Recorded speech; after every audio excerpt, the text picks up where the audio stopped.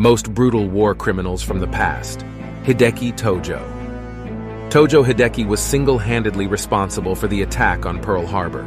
He was the leader of the Imperial Japanese Army and the 40th Prime Minister of Japan. On September 11, 1945, U.S. military police surrounded his house and heard a muffled shot inside. They entered to see that Hideki had shot himself in the chest, aiming for his heart, but missed. As he bled, he said, I am very sorry it is taking me so long to die.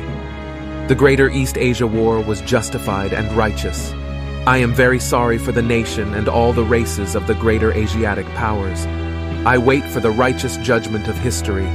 I wish to commit suicide, but sometimes that fails. After he was rescued, Hideki was sentenced to death. He was executed by hanging in December 1948.